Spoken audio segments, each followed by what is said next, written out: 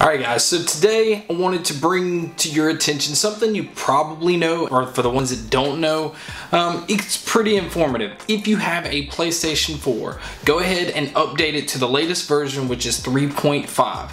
Now, you're probably asking, why is this guy telling me to do that? But if you read the title, and I'm sure you did, you know where this is going. So I'm going to use my Surface to show you guys that with the new 3.5 update on the PS4, you're able to play it wirelessly, remote play to any PC running Windows 10. So that can be your actual computer, it can be a tablet, anything that runs runs full Windows 10, you can play your PS4 on. Now, why would you want to do that?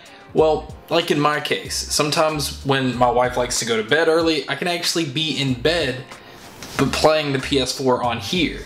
Um, you do have to plug the controller straight into the system. Uh, it doesn't work wirelessly, not that I know of. Um, I will put a link to the program, the remote uh, program you have to download.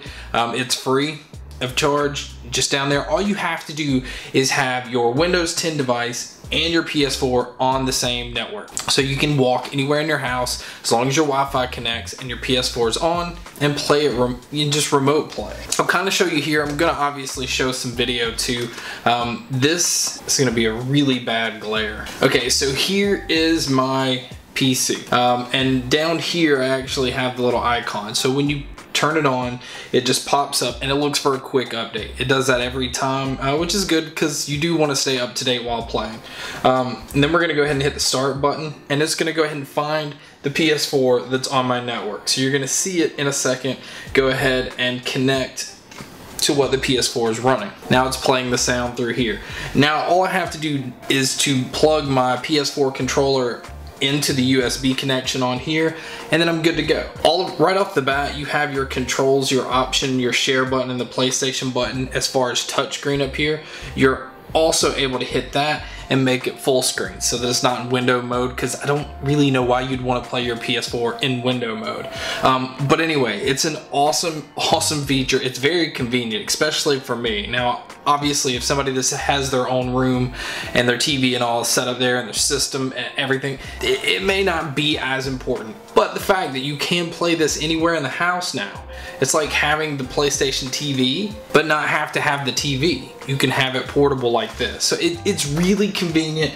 The graphics are good. You can play around in the settings if you don't want it to run at like full HD, tone it back some. It, it is important to kind of play around in the settings some, but it's extremely simple. Make sure to just download the link below, follow the instructions, and you'll be up and running in no time. This was just a quick video just to show you guys something that I thought was an amazing feature. And a lot of people, when I talk to them about it, that have PS4s, don't know that it's actually capable of remote play onto their Windows 10 device. Now the Xbox One does this, but that's a Microsoft device. You kind of expect it to. But the fact that PlayStation said, you're not gonna outdo me, I'm gonna do this too, and it's free, and it's great. It works incredible. I've noticed no lag, but again, I think it's gonna depend on your connection. But anyway, this was a quick video to show you something different, show you the remote play. Um, I hope this helps if you do have any questions, as always, just make sure to just ask questions below. I'm really good at responding to them. Um, thank you for checking out this video, and as always, make sure to stay tuned for more.